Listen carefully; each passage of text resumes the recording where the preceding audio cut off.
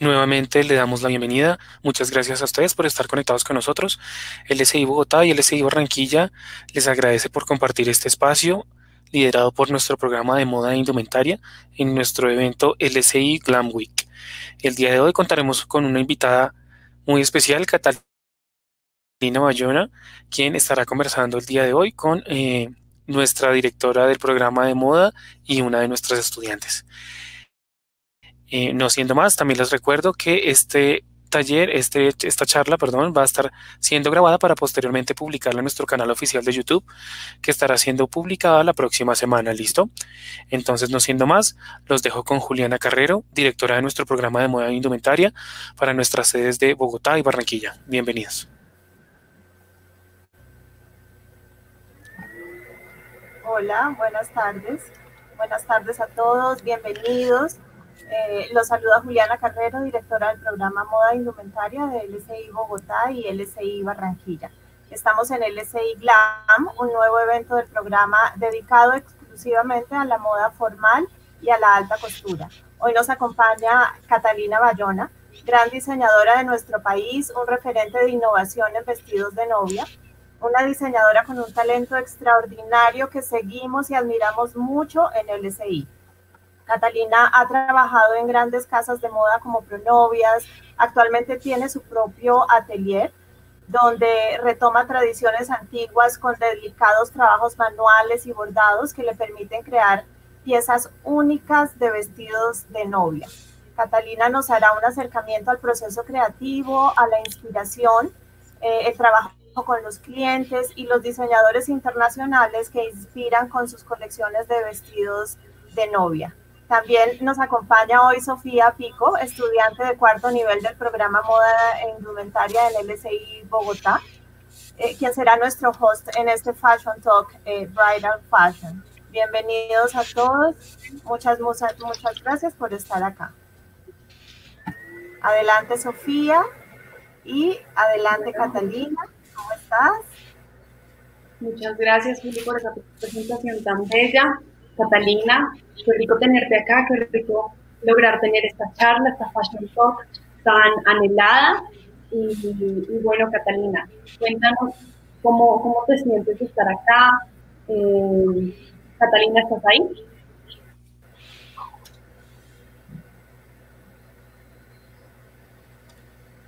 Catalina.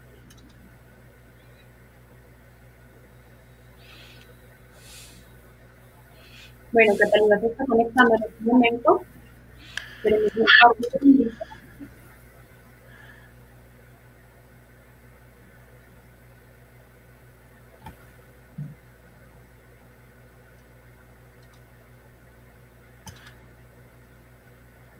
Listo, vamos a confirmar la conexión de Catalina para que podamos iniciar esta conversación con Sofía. Entonces vamos a esperar un minuto y daremos inicio. Muchas gracias. ¿Ya? Hola Catalina, ¿cómo estás? Hola a todos, ¿cómo están? ¿Cómo les ha ido? Muy bien, Catalina. Qué pena, tengo un problema aquí técnico, pero ya. Ya, todo súper bien, listo, perfecto. Acá, acá estoy yo para guiarte en, en, esta charla, en este camino tan rico que vamos a tener. Y bueno, Catalina, cuéntanos cómo llega la moda a tu vida, cómo llegas a ser diseñadora. Cuéntanos. Bueno, es una historia bien bonita. Eh, mi abuelita, eh, por lado de mi papá, eh, cosió toda su vida, entonces siempre estuve pegada como de eso desde chiquita. de hecho, tengo la máquina de ella aquí que tiene como 60 años. Fue una herencia que ella me dejó. Eh, nada, desde chiquita empecé como con el tema de, que me gustaba la moda, viendo a mi abuelita, no sé qué, entonces empecé a vestir las Barbies, yo era feliz haciéndole vestidos a las Barbies, a las muñecas.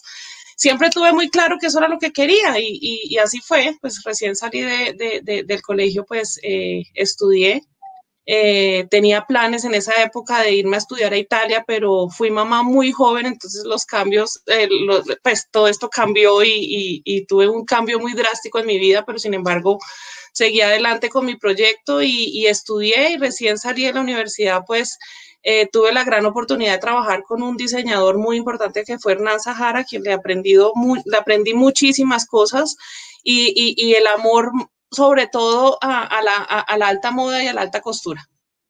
Sí, eso estuve escuchando en algunas entrevistas que has dado, que trabajaste con Hernán Zahar. ¿Nos podrías hablar un poco más a profundidad de esa experiencia? ¿Cómo fue trabajar con él? Eh, ¿Qué fue lo que más te enseñó? Cuéntanos. Bueno, eso fue hace muchos años. Eh, eh, en esa época estaba muy de moda el tema de, del reinado de Colombia. En esa época eso era pues como como, como el boom de la alta costura y los diseñadores, me acuerdo que en esa época, eh, bueno, yo recién salí de la universidad, eh, para resumir un poco, eh, me llamaron, la decana y me dijo, Catalina, están buscando personas donde, Ricardo, donde, donde Hernán Zahar, para que tú, pues, quieres presentarte, pues, estés allá, no sé qué. Fui, estuve como con 10 personas más y quedé yo. empecé como en ventas, en atender clientes allá.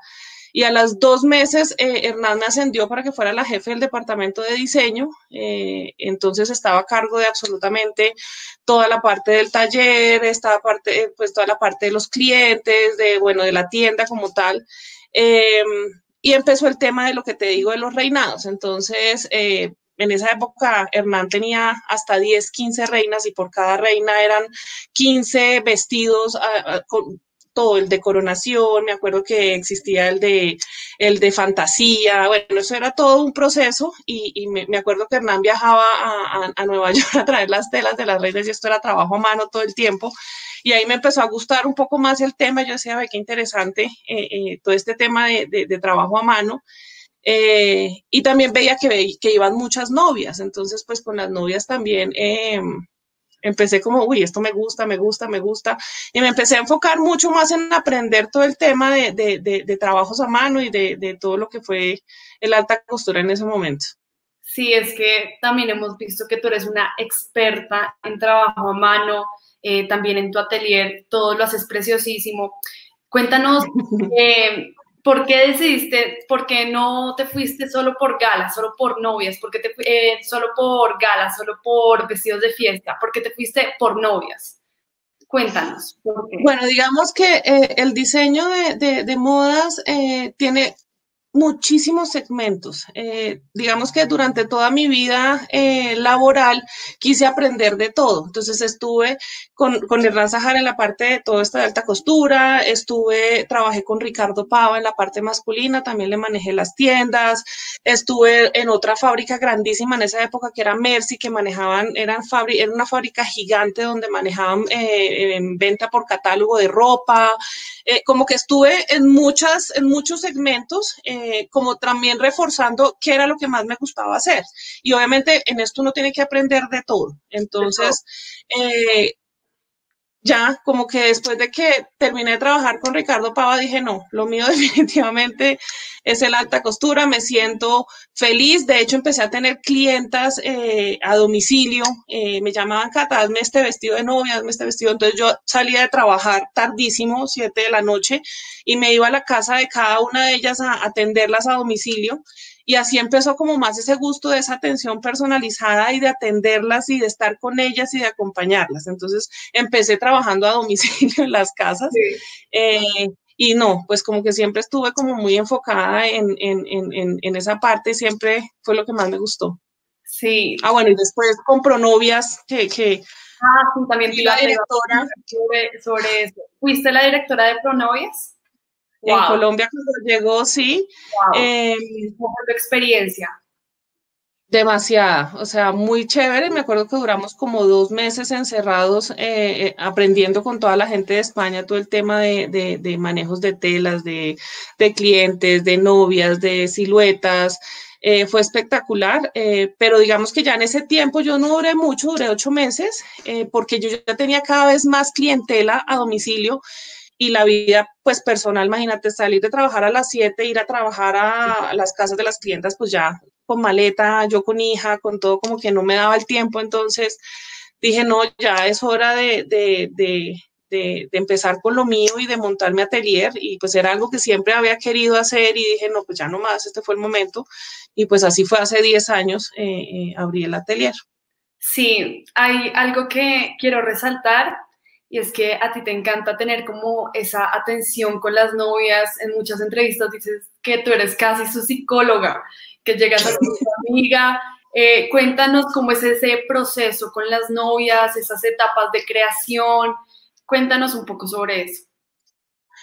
Eh, hay algo muy importante que de hecho siempre le recalco mucho a los estudiantes y, a la gente que le gusta eh, todo este medio y es em, hay que saber vender. Hay que aprender a conocer al cliente, porque ¿qué sacas tú con sacar una colección espectacular si no la sabes vender? Y una de las formas para vender es conocer a tu cliente. Eh, yo soy una persona supremamente, me considero supremamente emocional. Mm, eh, vivo eh, feliz de conocer a la gente, soy súper social. Y pues el vestido de novia es algo con lo que la mujer siempre ha soñado toda su vida. Y siento que con el pasar de los años, eh, la atención hacia las novias ha vuelto muy impersonal, o sea, como que es como un Sara o, un Mango, pero de novias, y resulta que eso no es así. La novia está en un momento de su vida donde necesita que le presten 100% de atención, donde le asesoren realmente como debe ser, donde le presten toda la atención, donde la escuchen y donde la acompañen. Eh, entonces yo dije, bueno, qué chévere crear un espacio eh, y, una cosa diferente a lo normal donde tú vas a una tienda y existen 10.000 referencias de vestidos, te pruebas, te lo ajustan. Eh, nunca es igual hacerte un vestido a la medida que un vestido hecho. Los vestidos hechos, digamos que, que, tienen una cosa y es que siempre tienen un pero, sobre todo nosotras las mujeres que molestamos tanto y que tenemos los cuerpos tan diferentes. Entonces me gusta la parte de arriba, pero la parte de abajo no, la espalda sí, pero el delantero no, eh, el busto me queda grande, pero la cintura me queda chiquita. Bueno, es, es infinidad. Nosotros con las mujeres, las mujeres somos demasiado amplias en muchas cosas. Entonces, em, dije, pues qué chévere poderme eh, tener un contacto cercano con, con, con, con, las novias y poderlas atender personalmente, asesorarlas, conocerlas, porque es que todas las mujeres tenemos estilos eh, diferentes, formas de pensar diferentes, todas somos súper diferentes. Entonces, qué rico que le hagan un vestido a uno como uno quiere y como uno se sienta bien, y uno poder ocultar lo que uno quiera ocultar y lucir lo que uno quiera mostrar. Entonces, eh, por eso digamos que para mí eh, fue importante como crear ese contacto súper íntimo con las, con las clientas y con las novias, pues para poderlas conocer y así poderles diseñar y hacerles algo como 100% personalizado, que es lo que yo hago. Sí, total. Cuéntanos, ¿ha existido alguna vez alguna clienta que tú dices, no, no la puedo leer? ¿O ha sido una cliente que ha sido complicada, que llega la prueba final y te dice, no, Catarina, no me gusta. ¿Has tenido experiencias así? ¿Cómo nos darías consejos para manejar ese tipo de clientes? No, digamos que obviamente pues hay momentos de, de, dificultades, digámoslo así, pero uno como diseñador tiene que aprenderlas a manejar. Entonces, eh, eh, es, es, es, por eso te digo, es importante conocer y leer bien al cliente. De, de, que haya tenido alguna clienta que no la sepa leer, no. Si han llegado muchas con unas ideas que yo digo, eh, no, eso no puede ser, o sea, no lo vamos a hacer, no se te va a ver bien, pero es la forma en como tú se los dices eh, y hacerlas caer en cuenta un poquito de, de, de, de, eso, porque es que una cosa es lo que tú ves en una revista o en un celular o en una foto y otra cosa es que tú lo lleves puesto, entonces no es lo mismo, entonces es la forma en como tú te comuniques con ellas y les hagas caer en cuenta eso. Eh, pues no he tenido, gracias a Dios, ninguna dificultad con ninguna clienta porque como yo lo voy haciendo por pasos, ¿sí? sí. Yo hago cuatro o cinco pruebas y ellas, ellas participan de todo el proceso, eh, desde la pegadita de la flor, entonces yo se las pongo con los alfileres, entonces ellas van viendo lo que se va haciendo, entonces no hay sorpresas, entonces no hay como, como, como eso que, que, que, el vestido ya está hecho y no hay nada que hacer y no le gustó, no, eso no, eso no me pasa, precisamente lo hago por eso, lo hago así, por etapas y, y donde ellas participan y estén todo el tiempo activas en el proceso de su, de, de, de su vestido. Claro, la comunicación siento que es importantísima y también cuéntanos cómo ha sido esta experiencia en pandemia, porque justo yo estuve participando en un webinar tuyo que hiciste en el SI justo a comienzos de la pandemia, pero cuéntanos cómo ha sido esta experiencia de trabajar con las novias en plena pandemia y qué tal ha dado la demanda. Háblanos un poco sobre eso. Bueno, pues esto fue algo que nos cogió de sorpresa, eh, no solo pues a mí como marca, sino a las mismas novias. Fue un golpe muy duro, de hecho, cuando Cuando empezó la pandemia, yo tenía novias que se casaban ese fin de semana eh, el siguiente fin de semana. Para ellas fue durísimo cancelar el matrimonio dos, tres días antes con, todo listo, pues eh, primero emocionalmente, pues para muchas novias no fue fácil y para mí verlas así, pues no fue, no fue, pues igual lo que te digo, como que se crea ese contacto, ese, ese, ese, esa, esa, esa parte tan emocional y unión con ellas que pues que a uno le duele. Entonces eh, fue duro, digamos que pues estuvimos cerrados cinco meses. Eh, obviamente, pues las novias en ese momento no estaban pensando ni en casarse, no sabían qué iba a pasar, cuándo se podían casar, qué iba a pasar, o sea, todo estaba como en un, en un mar de, de, incertidumbre que no sabíamos qué, qué iba a pasar, eh, pues nada, en ese tiempo, eh, cerrados, novias completamente quieto. Obviamente, pues detrás de mí hay un equipo de personas, pues yo como empresaria siempre soy una persona que me preocupa mucho por la gente que está alrededor mío y, la gente que trabaja conmigo, eh, pues imagínate, sin, sin ventas de novias, sin atender novias, pues esto muy difícil, eh, pero pues yo soy una persona súper recursiva y no me dejo y siempre soy una persona súper fuerte y súper apasionada por todo. Entonces me inventé un producto que fueron unas eh, sudaderas de bioprotección, eh, tapabocas para que ellas pudieran coser en sus casas y, mandarlas a domicilio y con eso pudimos sostenernos hasta que abrimos hace dos meses que ya digamos que la cosa se ha ido reactivando, ya las novias otra vez están teniendo un poco más de confianza y tienen como ya más o menos un rumbo de lo que está pasando, entonces ya estamos otra vez con el atelier abierto 100%, obviamente con todos los protocolos de bioseguridad y todo, pero pues ahí vamos, digamos que, que uh, uno nunca espera estas cosas, pero hay que estar preparado siempre, siempre. Uno como empresario eh, hay, que, hay que ahorrar, hay que guardar siempre un, un, colchón porque uno no sabe estas cosas cuándo puedan pasar y mira que pasaron y, y es cuando uno dice, oiga, sí, debí haber hecho esto. Eh, son lecciones para todo el mundo y hay que, hay, que, hay que siempre estar preparados para cualquier cosa. Total, pero mira qué rico que esta experiencia nos puede tener acá a nosotras y a todos escuchando todo tu conocimiento y todo lo que nos tienes para contar. Bueno, Catalina, cambiando un poquito de tema, cuéntanos cuáles son las telas que más se usan en el, en el universo de Bridal. ¿Cuáles son las telas que más favorecen? Cuéntanos. Bueno, es que en cuestión de telas hay millones. Lo que pasa es que digamos que, que, que en, en, el tema de bridal, eh, existen como muchos tipos de, de, de, segmentos, digámoslo así.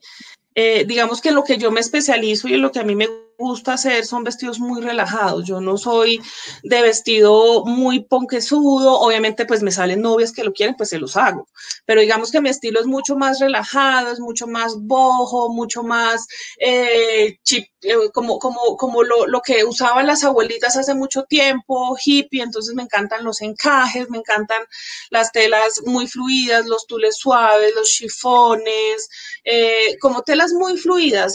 digamos que lo mío son encajes amo los encajes, los guipures, todo este tema de, de, las blondas me fascinan.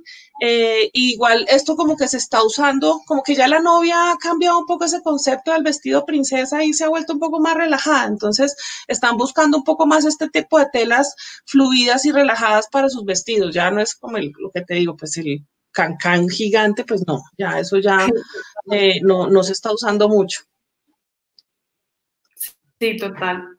¿Y, en qué diseñador o qué marca de alta costura encuentras inspiración o, te llama más la atención?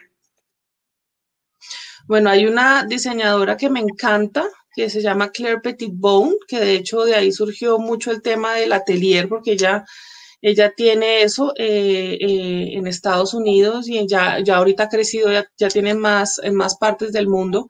Me fascina su estilo, me encanta lo que hace. Para mí ella ha sido como un, un, ejemplo a seguir en lo que hago. Eh, otras que me encantan es Jolan Cris.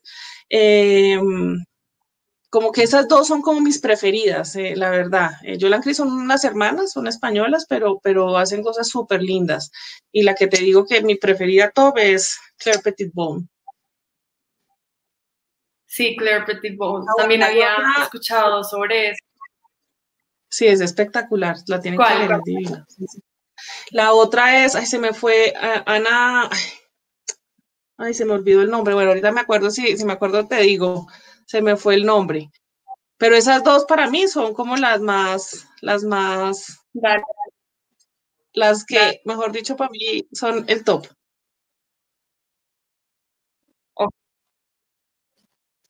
Listo. Uy, se fue. Súper. Eh, bueno, Catarina, cuéntanos cómo... No, siento como, como que la network está un poquito inestable, pero acá seguimos hablando y todo súper bien. Em, de las últimas pasarelas, ¿cuál ha sido como una propuesta que te haya gustado mucho ya de, de la última, del último lanzamiento de Dior de alta costura, que lo volvieron a hacer con muñequitas, justo como en la, en, la Segunda Guerra Mundial. Cuéntanos un poco de eso. ¿Qué, ¿Cuál ha sido tu propuesta, una de tus propuestas favoritas de estas últimas entregas en alta costura? Bueno, pues digamos que mi preferida y lo que hice ahorita para el Bogotá Fashion Week, eh, que fue una colección que hice inspirada en los años 20, eh, que para mí, digamos que une como todo lo que yo he querido eh, transmitirle a mis clientas, que es como esa parte de, de, de, libertad, de que, de que dejen esos vestidos llenos de corsets y de varillas y de cosas duras.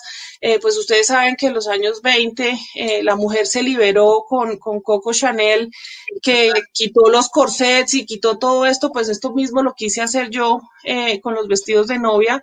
Eh, y, eso fue lo que mostré en el Bogotá Fashion Week, eh, donde, donde, donde la novia esté así, esté tranquila, esté relajada, no esté estresada ni, ni nada, sino que esté libre. Entonces, digamos que para mí esa inspiración de los años 20, pues para lo que hice para el Bogotá Fashion Week, eh, me encantó, gustó muchísimo y, reflejó realmente pues lo que yo quiero que, que, las novias transmitan cuando se están casando, que, es, que están divinas, preciosas, pero cómodas y tranquilas. Total, total, total, completamente de acuerdo. Ha sido un gran movimiento, todo este movimiento del feminismo y también vemos que tú, tú estás muy apoyada en esto de, liberar, a, de liberar a la mujer, de, sentirla fuerte, cómoda.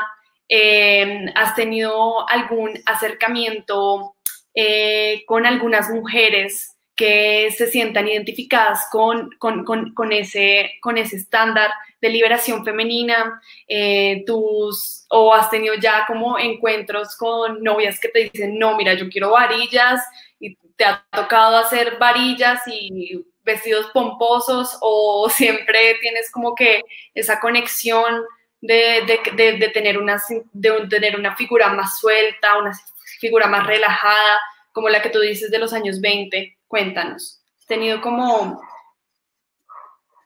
Pues bueno, digamos que, que, todo esto, lo que te digo, esto, esto ha cambiado muchísimo. Entonces las novias mismas están buscando eso, porque es que tú no estás con el vestido una hora, estás con el vestido 10, 12 horas entonces, aguántate el vestido 12 horas. Entonces, si quieres hacerle una inversión, porque pues comprar un vestido de novia es una inversión alta, para ponérselo un ratico o querérselo quitar al rato, pues no vale la pena. Entonces, eh, eh, digamos que muchas novias ya buscan eso.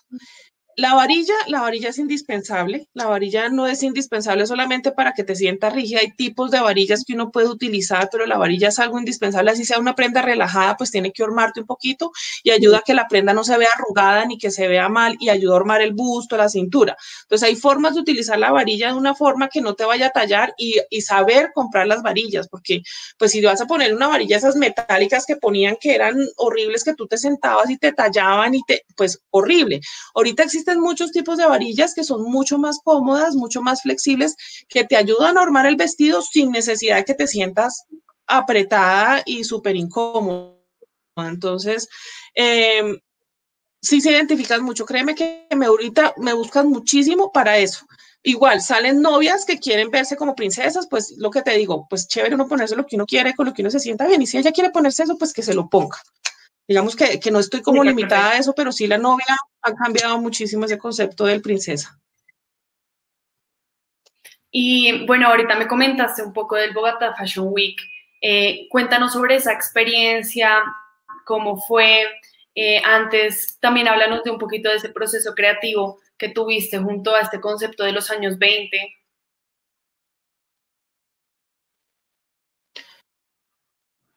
Bueno, eh, lo del Bogotá Fashion Week, pues fue una experiencia espectacular, digamos que es la primera vez eh, eh, en mucho tiempo que, que meten la parte de, de, bridal en, en, en, el Bogotá Fashion Week. Eh, entonces fue espectacular.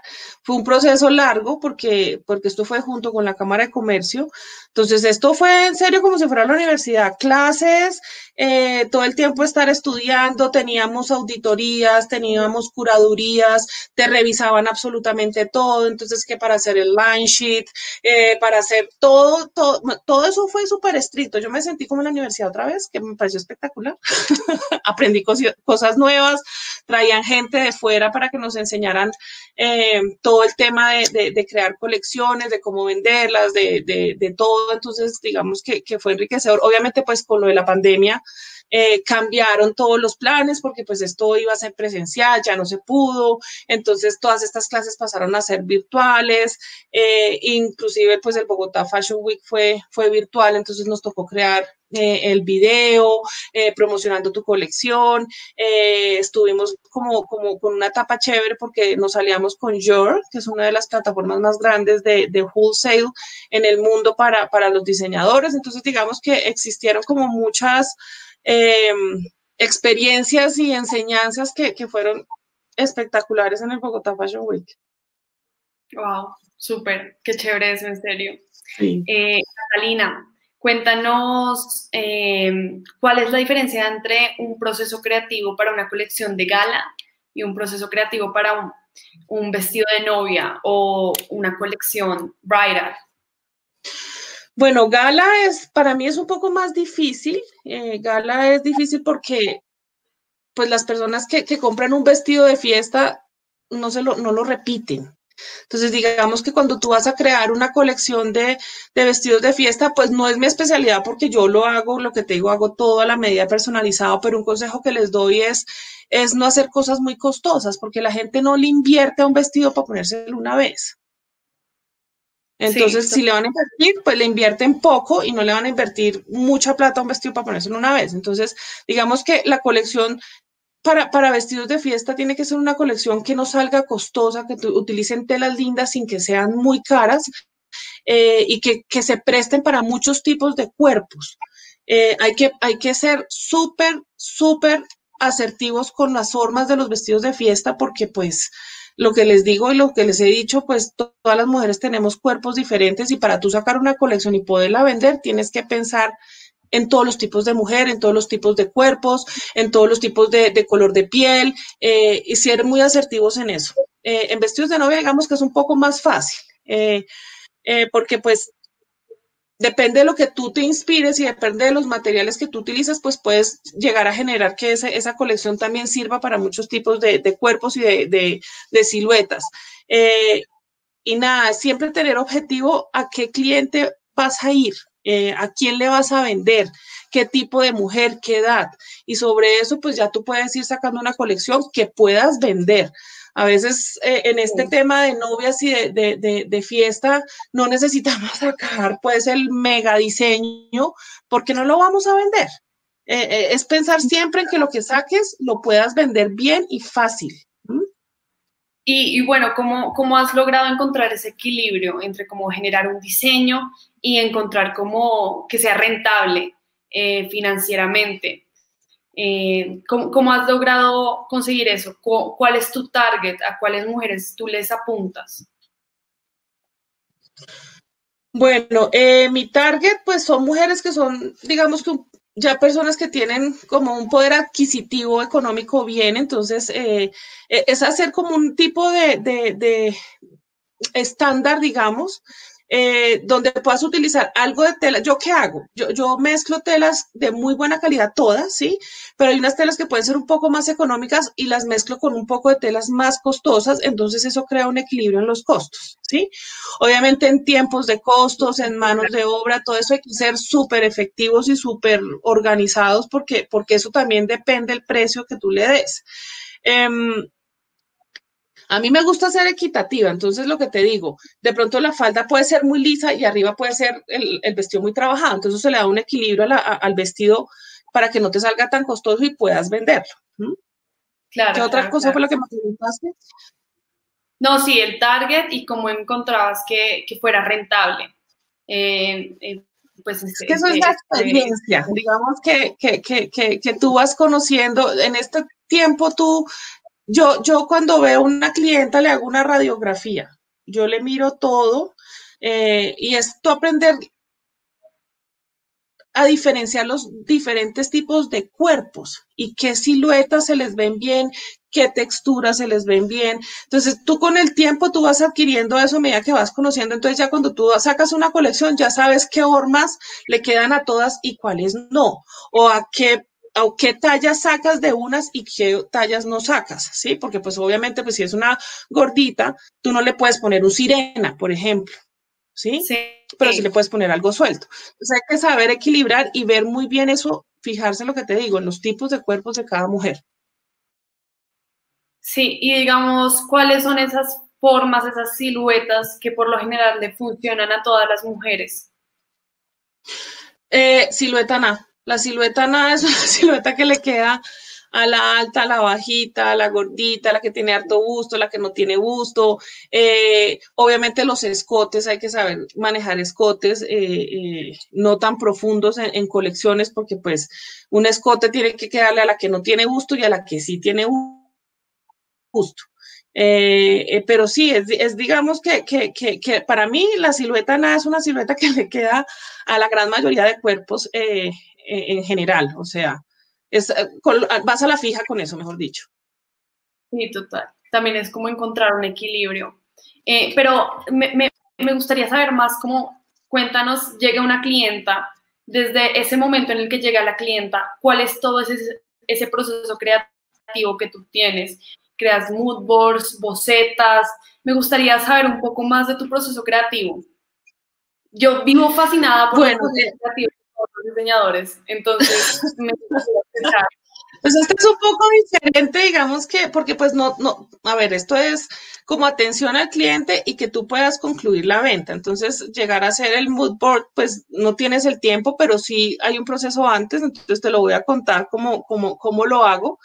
Eh, pues la clienta normalmente siempre nos contacta por Instagram, por la página web, por teléfono, por WhatsApp, entonces la clienta pues pide la cita. Eh, siempre soy yo la que las atiende. Eh, me gusta ser yo, pues yo tengo mi equipo, tengo mis asistentes, pero, pero me gusta ser yo quien tenga ese contacto inicial con ella y eso les da a ellas mucha tranquilidad porque pues no es una persona diferente a uno que las atiende, sino es uno como, como, como la persona que, yo esto se lo digo todo el tiempo y se ríen porque el que tiene tienda, que la tienda. Entonces, así soy yo.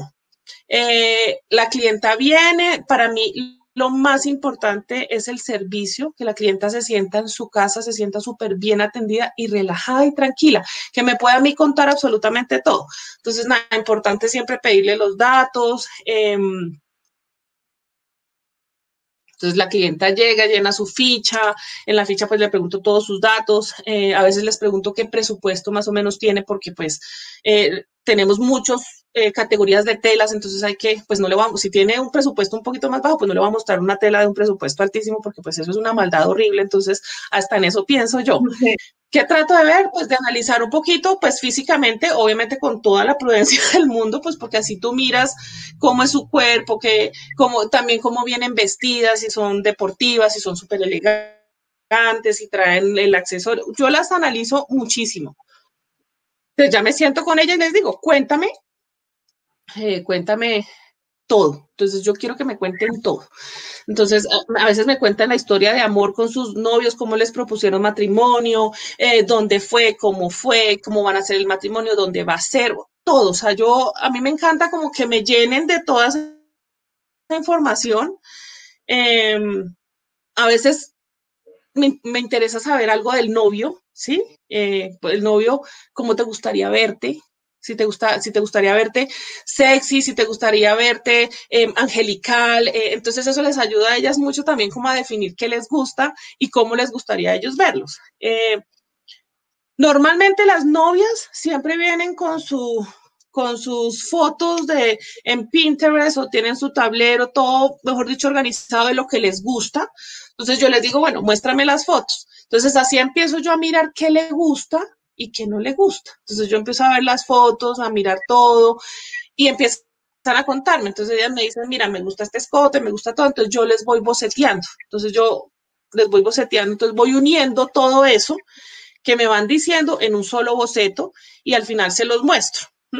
Entonces ya ellas se emocionan, a veces se quieren probar algo, entonces yo les hago, yo no tengo muchos vestidos, pero sí tengo algo como para que ellas vean como los terminados, para que vean eh, siluetas, si se quieren probar, bueno, y ya, ya después vamos a la parte de, de las telas. Entonces ya les muestro las texturas, les muestro todas las telas. Entonces esto es una emoción porque ya siempre vienen aquí con súper buena energía, súper emocionadas. Entonces ya, ya se les cotiza. Hay unas novias que, que toman la decisión ahí mismo, hay otras que no, como buenas mujeres que somos, que somos súper indecisas, entonces como que van a otros sitios y ya toman la decisión dependiendo de cómo se sientan. Entonces por eso es importante la atención que tú les des y esa asesoría que les des porque así vuelven a ti o no vuelven. Sí, total, total, pero qué rico todo, todo este manejo que tienes con, con tus clientas, este, este, esta conexión, este vínculo que creas con ellas, se me hace algo muy, muy, muy bello y muy especial. Em, cuéntanos cuáles son los accesorios que acompañan los vestidos de novia, em, cómo, sería, cómo sería e-, ese universo. Bueno, em, en cuestión de accesorios, eh, digamos que esto también va muy por el estilo de la novia y del vestido. Eh, a mí no me gusta ver las novias llenas de cosas, o sea, para mí menos es más. Entonces, eh, si el vestido tiene muchas cosas arriba, pues es necesario solamente sus areticos. a veces si se ponen algo en la cabeza, es importante que se pongan algo en la cabeza. Si quieren velo, pues se pueden poner velo.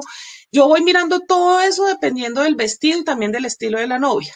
Eh, sí es importante el accesorio, obviamente sus aretes, el tocado o lo, que, o lo que ellas quieran llevar ese día, eh, pero me parece que es un complemento demasiado importante, igual que los zapatos los zapatos. Ahorita, si se han dado cuenta, se ha puesto muy de moda eh, que le toman fotos a todo el proceso, hasta el zapato sale. Entonces, el zapato tiene que ser bonito porque no pueden sacar una foto con un zapato horrible porque, pues, no. Entonces, todo es un complemento de todo. Entonces, si un vestido es muy sencillo, puedes ponerle unos accesorios un poco más, más llamativos. Si el vestido es lleno de cosas, pues unos accesorios más, más, más ah, sencillos para que no te vayas a ver recargado. Sí, total.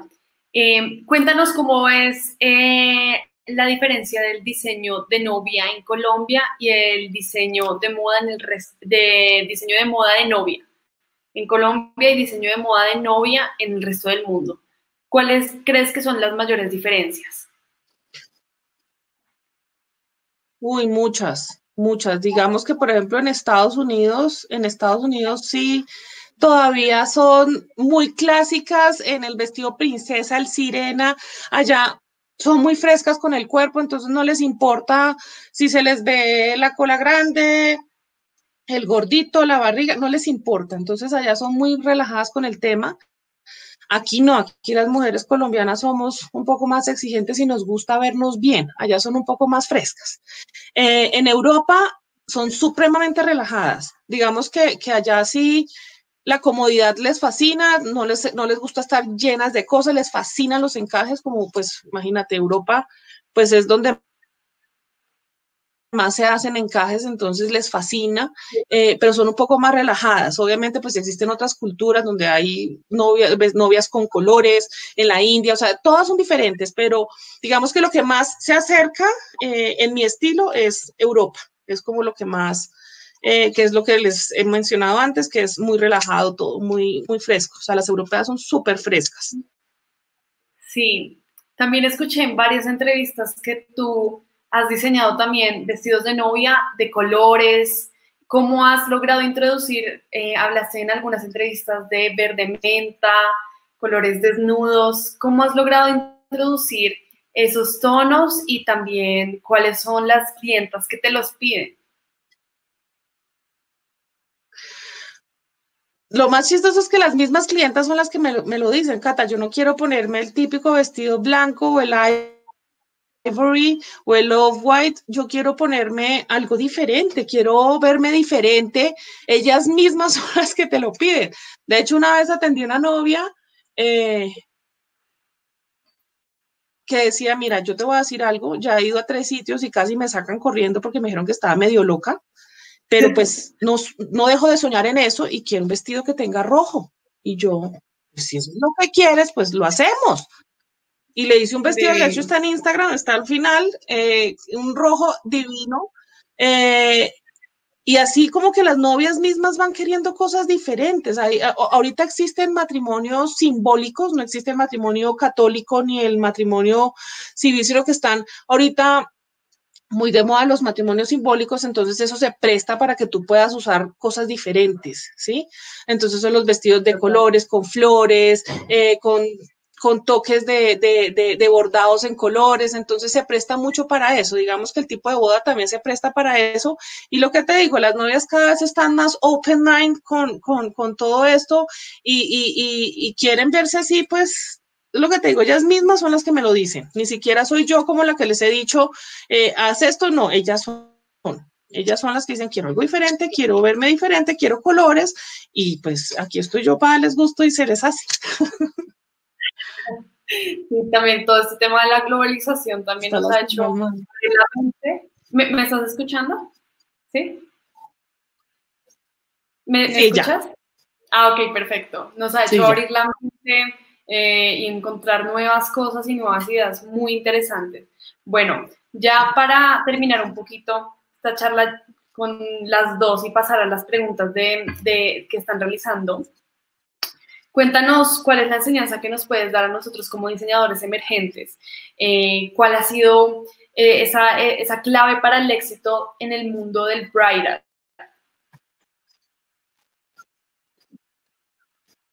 No te estoy escuchando bien, Sofi.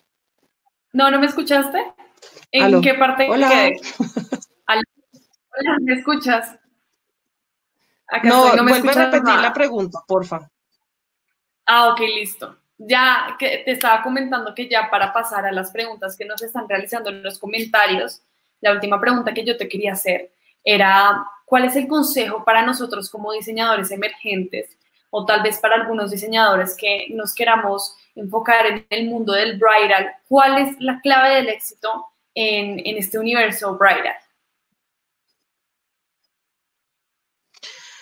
Bueno, eh, digamos que en bridal eh, lo, que siempre les, les, les, les digo a todos es aprender a conocer al cliente. Siempre es importante conocer al cliente, siempre es importante aprender a vender. Para mí, las ventas es el top de un buen diseñador. Eh, vuelvo y les digo, como les dije, que sacan con tener una colección divina si no la saben vender? Eh, a veces me doy cuenta eh, que, la timidez les gana a los diseñadores, hay que ser ustedes mismos, hay que, hay que abrirse, hay que, hay que experimentar cosas, hay que tratar de, de, de, de, dejar esa timidez y esos miedos que a veces, ay, ¿será que sí le digo? ¿Será que no? ¿Será que estoy bien? No duden, no duden, sino siempre traten de, ser muy asertivos en lo que, en lo que van a hacer, eh, ser perseverantes siempre, ser súper organizados y un consejo que también les doy, ojo con los costos, siempre sacar buenos costos, porque a veces nosotros los diseñadores cometemos el error de, eh, bueno, hice una, es un, es un ejemplo, entonces hice la chaqueta, ¿sí?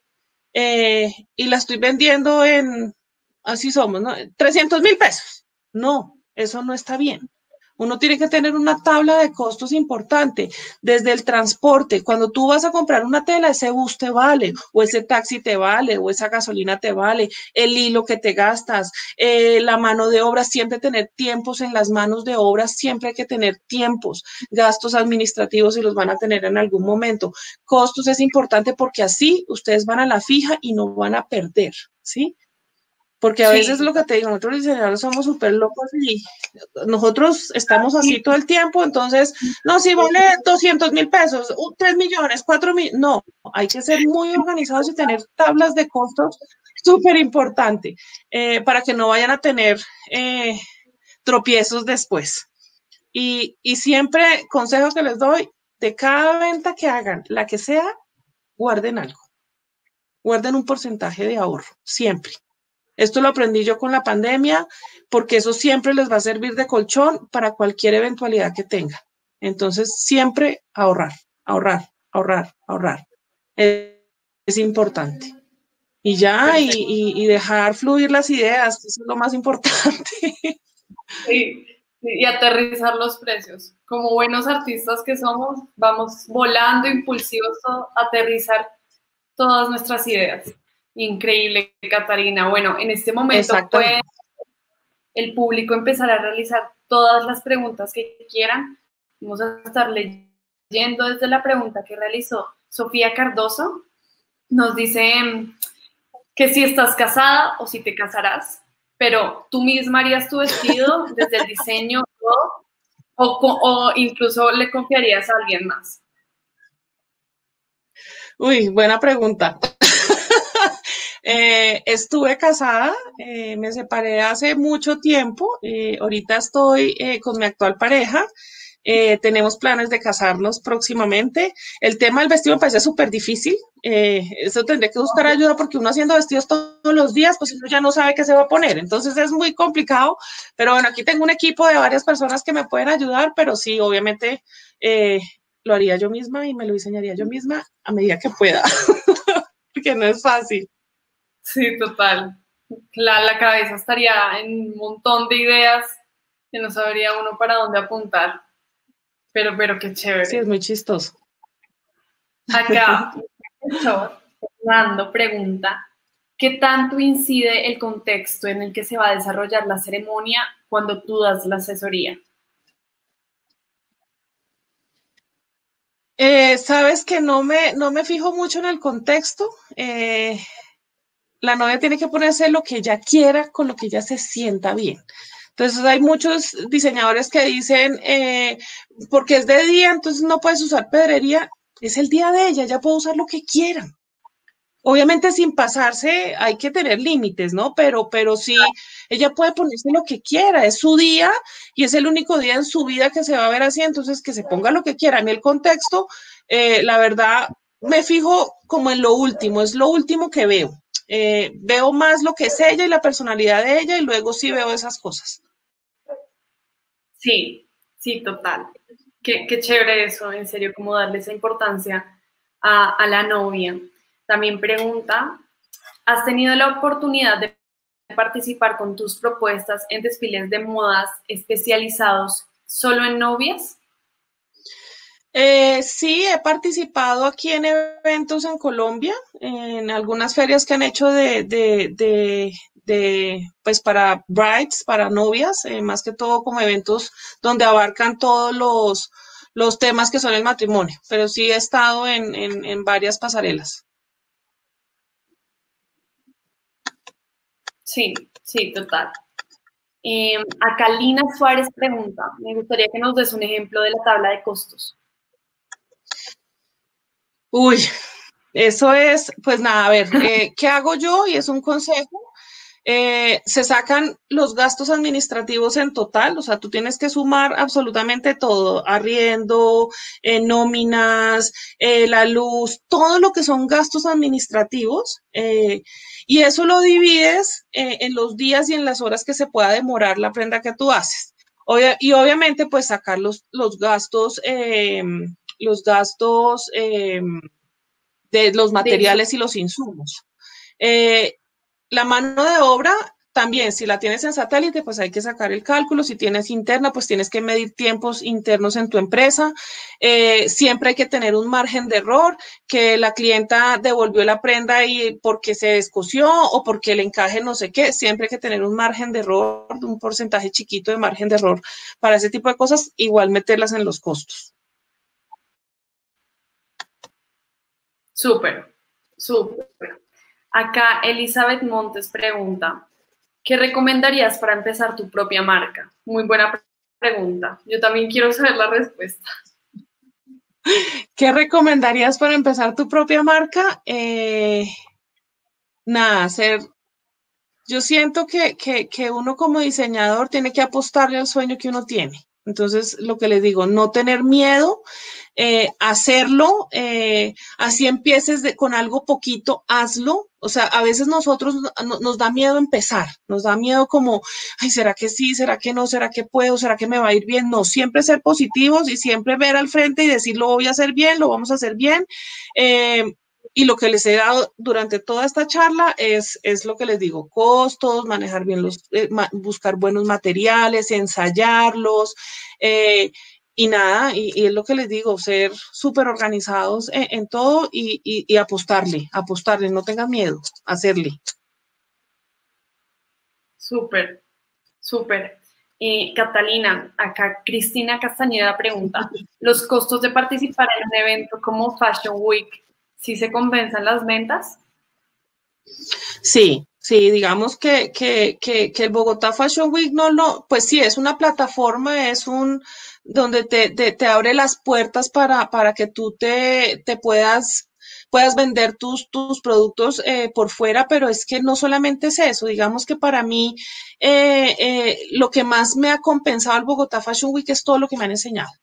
O sea, ustedes no se imaginan las enseñanzas y todo lo que he aprendido, para mí eso compensa todo. O sea, habrán diseñadores que les va mejor que a otros. Esto, esto es como la lotería. O sea, por eso es que hay que ser muy asertivo en lo que hagas porque depende de eso, pues también se ve, eso es un trabajo en equipo, no es solo el Bogotá Fashion Week, sino eres tú como diseñador, que, que, que, que, puedas ofrecer cosas que llamen la atención y que se, se, puedan vender, ¿no? Entonces, pues digamos que ese es como el acompañamiento que ellos te dan y como la, las enseñanzas y todos los aprendizajes que ellos te dan para que eso pueda ser así.